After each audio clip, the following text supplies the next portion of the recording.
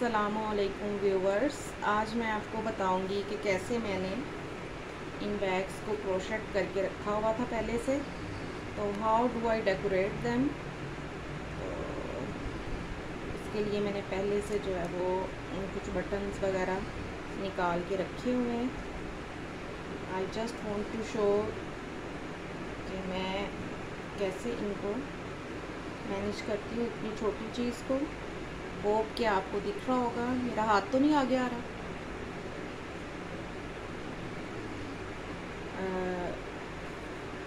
You can listen someone is snoring in the background and today my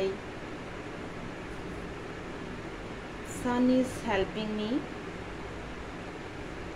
तो यूँ मैं थोड़ी वो चीज़ें जो मैं जमा करके रखती हूँ उसको ऐसे यूज़ कर लेती हूँ। जैसे जस्ट अगर ये बटन भी लगाती तो चलता, लेकिन मैंने इसको थोड़ा सा इन्हेंस करने के लिए एक छोटा सा बीट्स जो है, उसको यहाँ लगा दिया।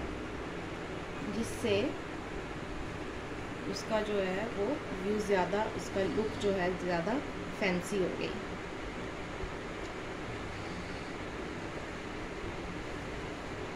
गॉड कैमरे में दिखाने के लिए थोड़ा वो जो है डेफिनेटली चेंज हो जाता है। तो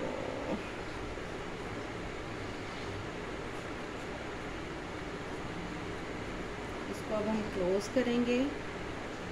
पीछे से जाके ऐसे। How I will show you how I जो मैं उसमें एक रोप लूप जो है, वो कैसे मैं क्रोशिया के छोटे बैग में डालती हूँ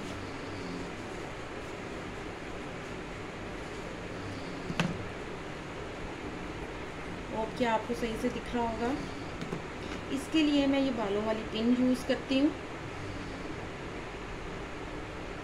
ये डोरी मैंने पहले से बना के रखी हुई है। जब मैंने क्रोशेट किए थे बैग स्मॉल बैग्स तब भी मैंने साथ ये डोरी भी बना ली थी। तो इसके लिए मैं यूँ इस इसको जो है वो होप के दिख रहा होगा आपको। Mohammad is it going good now yes you can watch yes okay thank you Mohammad to helping for helping me यूँ इसके अंदर से डाल के स्मॉल पिन जो है वो मैं बालों वाले पिन जो है वो यूज़ कर रही हूँ इस डोरी की मदद ऐसे तो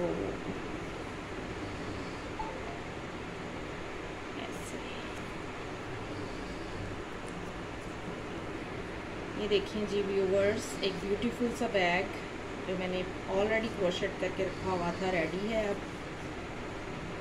ऐसे इसको बंद किया और यूँ।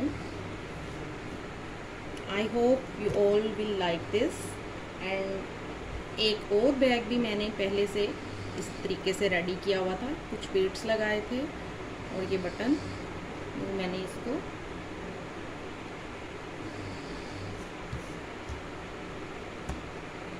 ज़रा क्लोज करें please thank you viewers watch this video अल्लाह हाफिज़